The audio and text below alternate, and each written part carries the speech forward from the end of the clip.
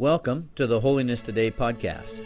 I'm Stan Reeder, Regional Director of USA Canada, and we are partnering with Holiness Today to feature preachers from across the region. We hope these messages will encourage your daily walk with the Lord and help you feel connected with our region.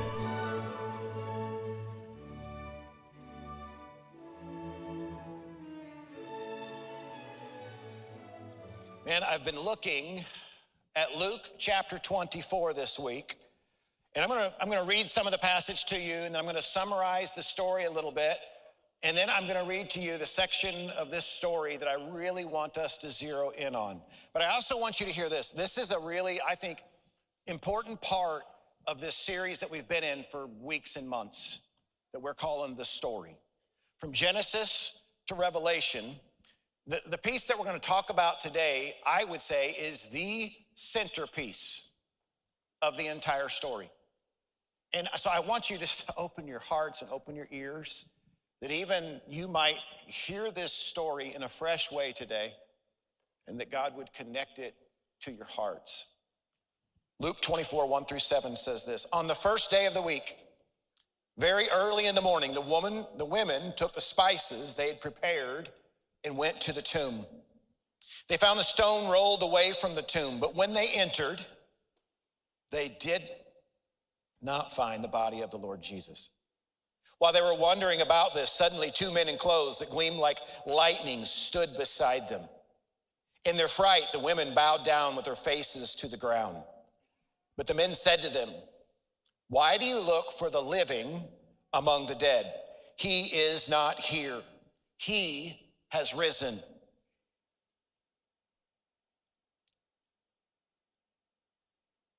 Remember how he told you while he was still with you in Galilee the Son of Man must be delivered over to the hands of sinners, be crucified, and on the third day be raised again. Now, on that same day, there's two of them that are walking down the road to Emmaus. Some of you might remember that story as well here in Luke 24. It was a seven mile journey. They're walking along with each other, and suddenly, scripture tells us that Jesus appears alongside of them and walks with them. Scripture tells us that they are kept from recognizing him. And so he says to them, he says, in a sense, Good day. What are you guys talking about? And they responded with, We're talking about Jesus of Nazareth. He was a prophet, powerful in word and deed and they sentenced him to death and crucified him. We had hopes that he was the one that was going to redeem Israel. And then get this it's the third day since all this happened, and some women are sharing that they went to the tomb today, and he was not there. Some angels spoke to them and said he's alive, and others have con- confirmed that what they have shared is real. Then Jesus said to them, why are you so slow to believe? I mean, all this has been spoken about. They invited Jesus to stay with them, and later that evening, while breaking bread, their eyes opened so that they could recognize him. And then he vanished. They then returned to Jerusalem to share what they'd experienced. While they're sharing, Jesus appears again. They were frightened, but he says to them, Peace be with you. He then opens their minds so they could understand the scriptures. And then he says these significant words to them. And here's where we're going to focus today Luke 24, 46 through 49.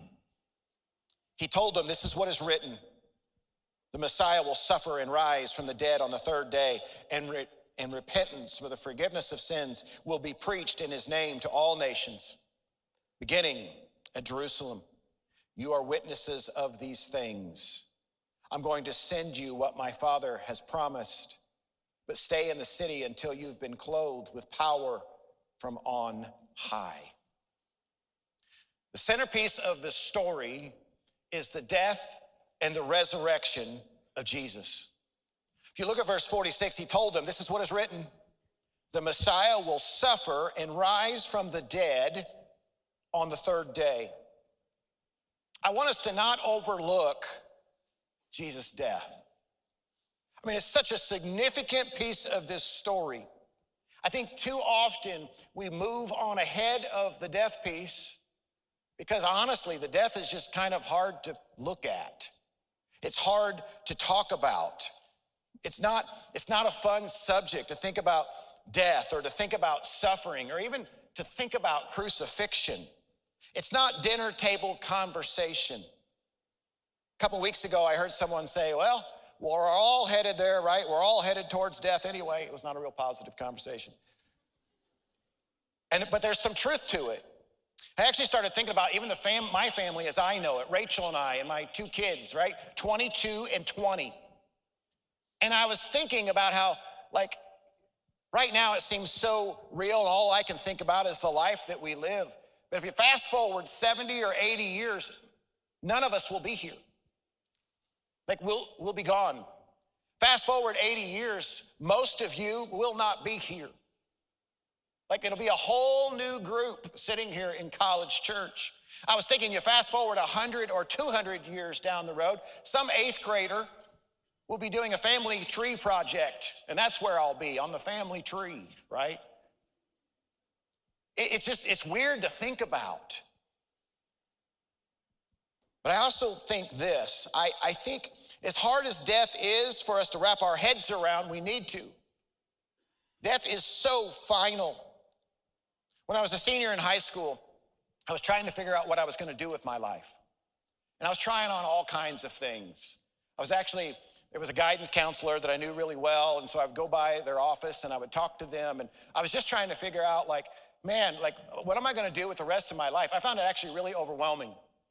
There were several things that came to mind, and one of those was the idea of being a funeral director. Can you picture that? You're like, no, I can't, right? So I, I, actually I called up our local funeral director in a small town. You, you know them. Like they're just known. It's just part of the community. I called him up, I set up a meeting, and I went in and I sat down with him and I said, Hey, tell me what it's like to be a funeral director. And he began to describe things to me, and I was kind of listening. What attracted me to the idea of being a funeral director was walking with people in their hardest days. That I would always kind of be at that place where people were grieving and hurting, and I'd get to walk with them. The only thing I didn't like as he was talking was this idea that he said, I very, very rarely get to go on vacation. I didn't think that sounded very pleasant. But then he said this to me. He said, Kevin, if you really want to like learn more, the next time I get a customer, I'll call you. Sure enough, I go home, a week or two later, he calls. He said, Hey, if you want to come in, come on in. So I drive to the funeral home and I walk in. He sits me down in a room and he kind of prepares me. It was not enough preparation, but he prepared me. And then we opened the door and went in this room, and the customer was there. And I, w- I just stared. I was very overwhelmed in the moment. And then he began to describe the process and all the things he did. Honestly, I don't remember any of that because I was just staring. I knew within about 20 seconds of being in the room that I was not going to be a funeral director. I mean, I didn't know it would end up being a great, you know, sermon illustration years later. But I thought, I'm not doing this. And then the Lord kind of had a sense of humor. He called me to be a pastor, which means I still get to walk with people in their hardest moments, but I don't have to go in that room. That, that room, man, it, it helped me to see the finality of death. As a pastor, I've seen it many, many times. I've seen it in my own life many times. I will tell you this every time I sit at a funeral, every time I lead a funeral, there is not a funeral that I'm not a part of that I still don't grieve the loss of my loved ones. It's the place where I'm reminded of the finality of life. See, I recognize that this story, even when we read it here, it only really lingers in this death moment for three days. I even think about Good Friday and Easter. I mean, most of us Good Friday, we just try to get through it. And then we're like, yeah, the party's on, resurrection. We like to live into that. Who wants to hang out at the death piece of the story? But the only way, only way to, I mean, we, we need to, we need to see. Jesus didn't go to sleep. Jesus wasn't partially dead. Jesus died. He actually died. And the only way we see the power of the resurrection is if we see the finality of Jesus' death. So, how does the death change the way we live? I'm glad you asked. He told them, This is what is written the Messiah will suffer and rise from the dead on the third day. And listen to verse 47. And repentance for the forgiveness of sins will be preached in his name to all nations beginning at Jerusalem. you have the opportunity to repent. As we talked about Jesus last week, he had all the power from above, but he chose not to use it. He willingly walked toward death, crucifixion, humiliating kind of death, as he loved us to the very end of his life. Even you can see the struggle in Luke 22. Father, if you're willing, take this cup from me. Yet not my will, but yours be done. When I think about repentance, oftentimes repentance around the church, everybody kind of clams up just a little bit when, when the pastor starts talking about repentance. Because this is the type of message that one might say, okay, like I, this, this might be the step on your toes kind of message. This is the one that's going to make me feel guilty, or this is the one I don't really care to hear. But I want you to hear this that in repentance, like the opportunity to turn from our way and follow God's way, it is full of grace. It is a very gracious thing that God would say, I'm actually going to give you the opportunity to repent. See, sin is always rooted in our selfishness. And repentance is the opportunity to turn towards God and away from ourselves and away from our selfish desires and to begin to move towards His way and His desires. Sorry. There were so many times as a teenager when I look back at my teenage days before I really knew Jesus, my parents were always working against me. Some of you teenagers, I'm not going to ask you to raise your hand. But I'm guessing some of you feel this way. I had things I wanted to do. I had fun that I wanted to participate in. I had so much stuff that I was like looked at and I was like, oh yeah, I want to do that. I was always planning and scheming to do and to live what I thought was my best life. And my parents were always strategically planning and scheming to prevent me from living my best life. Anybody over here? They're like, yeah, parents, anybody? We get that, right? We understand it. They were always raining on my parade. And then later in life, much later in life, I realized how much they loved me. In fact, when I became a parent, I realized how much they loved me. That they wanted their absolute, like God's absolute best for me. And I would say the same for my children. I want God's absolute best for them. And sometimes, from my point of view, they just can't see it. So they're scheming and planning to do their thing, and I'm scheming and planning to undo their thing, right? To run roadblocks. And I'm sure at times they think I'm working against them. But so many times I just wish they could see it, looking back, even at their earlier years. Like I wanted them to see it because there's serious consequences on the other side of living our way, adhering to our selfish desires versus God's. Sin always leads to death, not to life. And I want you to hear this too. Sin is it's a very personal subject. So even as I talk about it, I mean, there's there's pieces of us like, mm, it's personal, Kevin. This is personal. Like you're in my business. But I want you to hear this too. Yes, it is personal because there's real consequences for us. But the consequences of sin are not only personal, they affect everyone around you. you have probably seen it. That at times we think sin is only going to affect me. This is between me and the Lord, Kevin. Maybe. But sometimes those consequences not only affect you, they affect your family, they affect everyone around you. They affect your friends, your kids. But I want you to hear that repentance is rooted in this idea that God is so good and He loves His children so much that He wants the best for us. And so His overcoming death gives us the opportunity to turn towards Him and to trust that His best, to live into it. In fact, I would say this at the intersections with sin, His Spirit, this is how it works His Spirit makes us aware we all know this. There's times when you're walking towards something, you're walking towards a decision, you're just living life, and the Holy Spirit makes you aware that you're headed the wrong direction. Now, at times you could say, Oh, yeah, raining on my parade, right? Or you could say, He's trying to prevent me from a mess. He's trying to stop me from incurring these consequences that are not good for me. And so the opportunity is by His grace to say, hey, hey, hey, stop. Don't go any further. Do not move beyond this line. My opportunity for you is to turn around and begin heading the other direction, which has goodness for you, which has my best for you. If only you could see what I see. And here's where I want us to pause in the room, as well as for those online.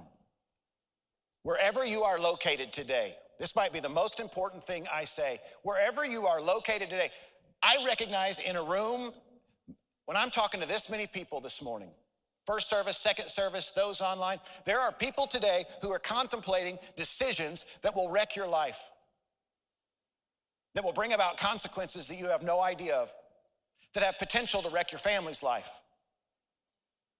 I can't see it. I'm not, I don't have anyone in mind. But I know, statistically speaking, in a room this size, there are people who are contemplating decisions of sin that will wreck you. And today, maybe today is a moment of grace for you. You showed up at the right place at the right time where the Holy Spirit could slip in beside you and say, I love you so much, I brought you to church today.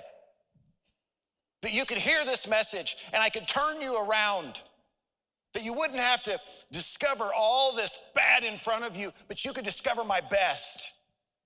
It is my grace today that you are hearing, and all you have to do is turn from it and move towards me. You can be forgiven. Some of us, that's really hard to believe, but you can. It doesn't matter how much of sin is in your past. It doesn't matter how high it's piled up. It doesn't matter the stories that are behind you. You can be forgiven. Last week we talked about when Jesus washed the disciples' feet. Jesus made a statement that I want to revisit. He said, You shall never wash my feet. That's what Peter said. And Jesus answered, Unless I wash you, you have no part with me. We talked about there was double meaning in that. Unless I wash your feet, you're not coming to the table to eat. But unless you receive the washing that I have provided, the washing of your sins, which comes through the cross, you will not have relationship with me. If Jesus doesn't die and face the power of death, it continues to rule the day. His death and overcoming it gives us the potential to overcome it as well. The gap that once was there is overcome with a path made to a real relationship with God. Acts 3 puts it this way But this is how God fulfilled what he'd foretold through all the prophets, saying that his Messiah would suffer.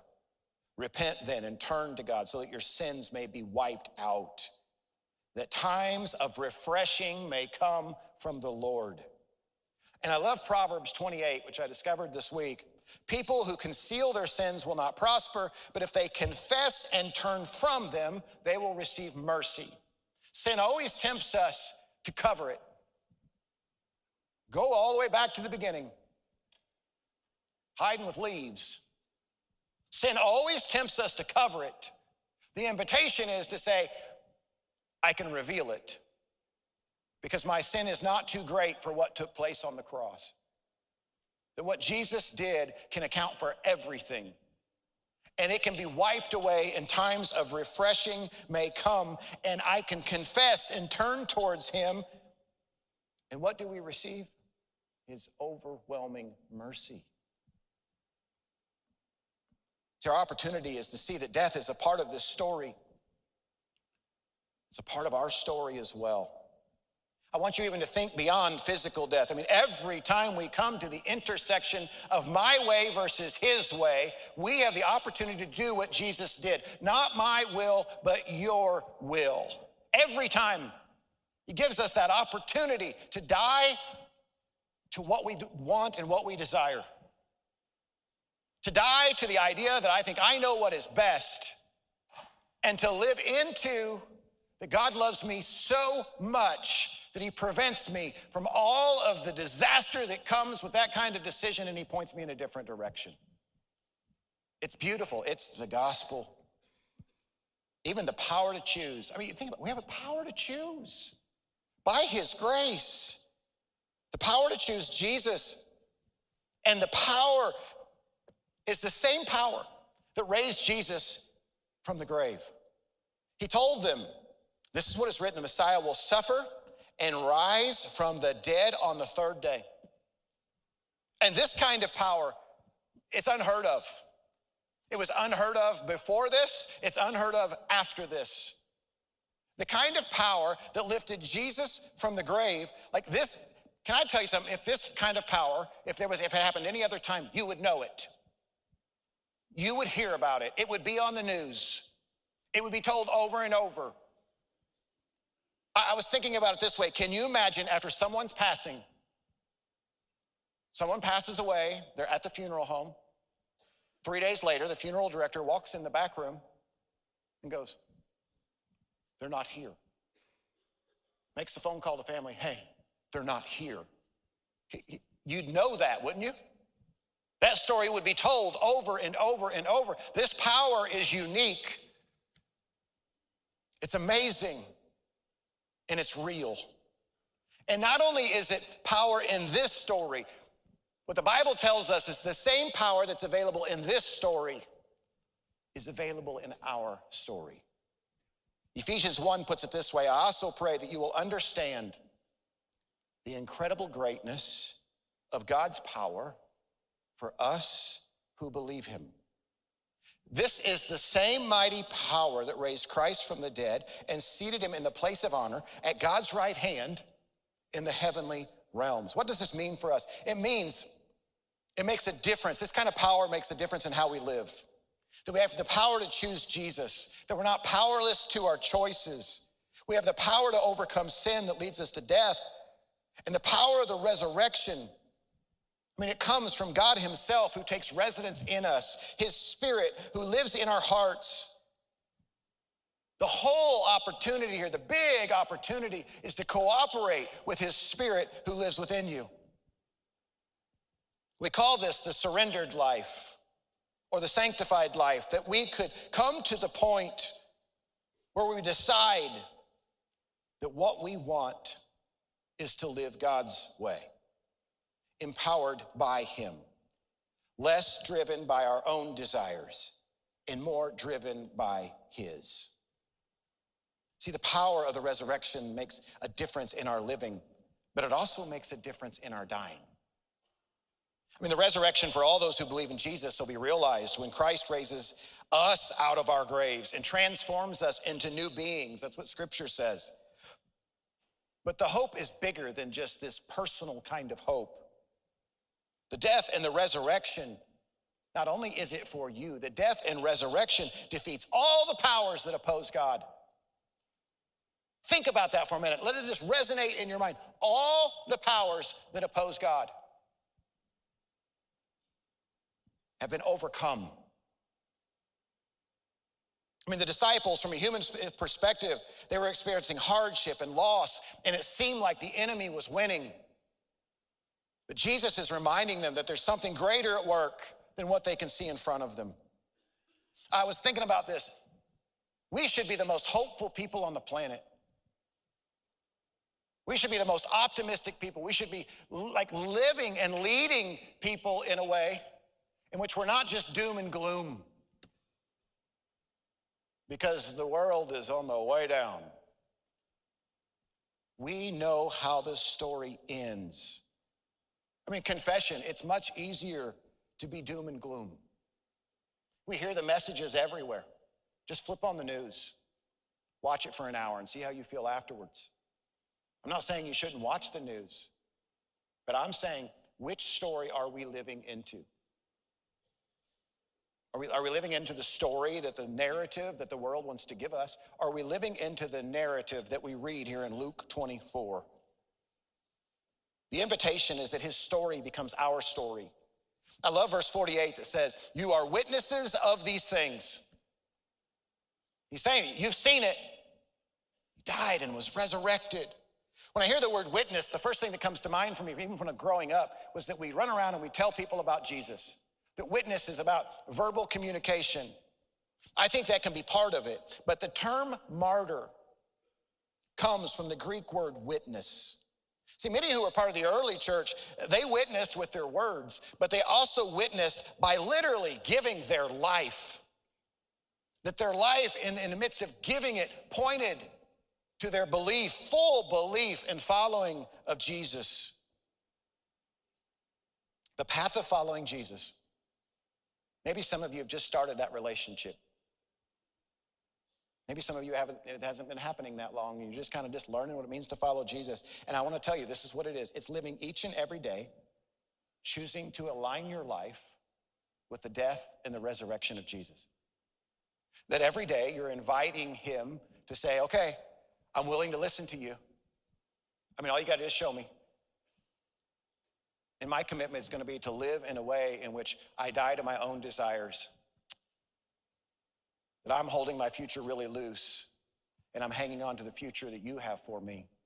And that when you show me, I'm thankful that you'll also give me the same power that lifted you out of the grave. The same power is available to me that I can turn away from the life that will lead me to death and I can turn towards life to the full. What a beautiful gift. I'm going to ask our choir to come, and they're going to come and they're going to sing one more song. But as they prepare to come, would you just bow your heads with me? I want to lead us in a time of prayer today. Maybe you're here today and you, you know in your heart you don't really have a relationship with Jesus. You heard Pastor John say it earlier our mission is to lead you into that. And even today, you can start a brand new life with Jesus. Maybe today is the day in which you know the Holy Spirit has said to you, we got to get this turned around. And by grace, you have an opportunity to do so. You have the power to choose and to turn towards Him so if that's you, I'm going to pray a prayer and I want you to pray it with me. And I'm actually going to have it on the screens. It's not a magic prayer. But I think if you'll pray these words and you'll mean them in your heart, they align with what Scripture tells us about what following Jesus looks like. So if that's you, pray this with me. Lord, I believe that Jesus Christ is the Savior of the world, that He gave His life for the forgiveness of my sins and was raised from the grave to give me life. I turn from my ways. By your grace, I turn from my ways and I choose yours. I receive your grace, this gift that you're giving me by faith.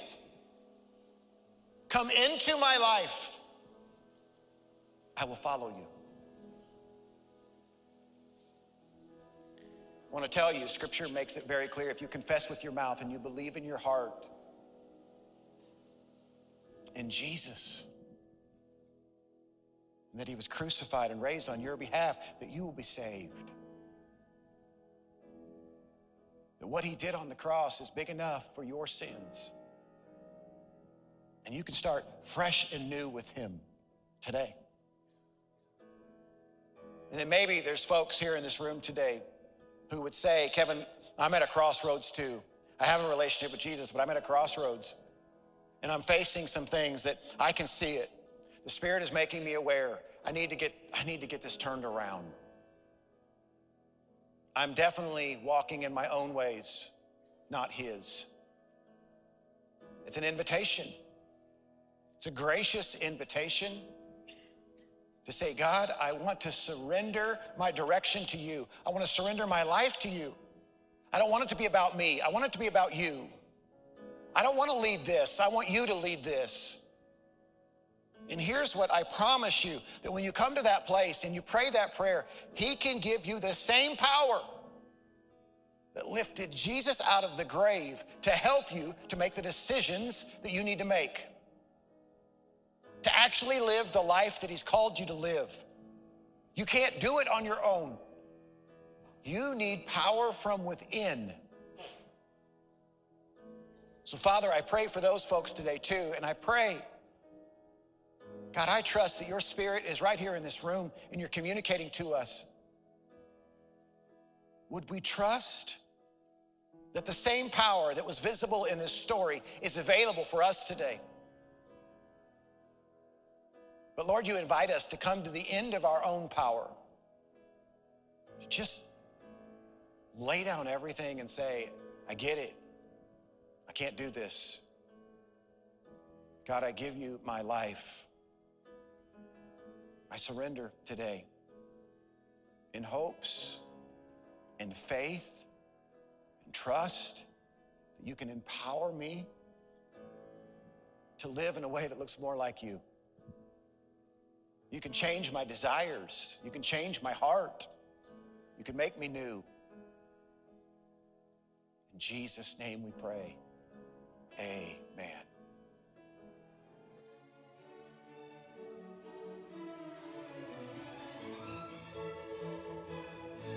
Thank you for listening to the Holiness Today podcast. If you enjoyed this production and wish to hear more, visit holinesstoday.org/podcast or find us on Spotify, Apple, and Google Podcasts.